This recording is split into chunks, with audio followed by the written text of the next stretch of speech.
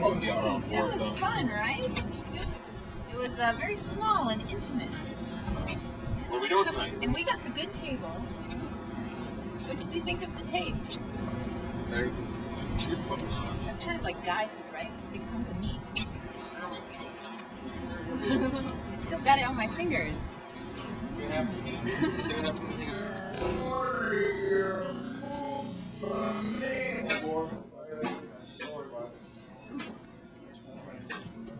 Hello. How you doing? Good, how are you?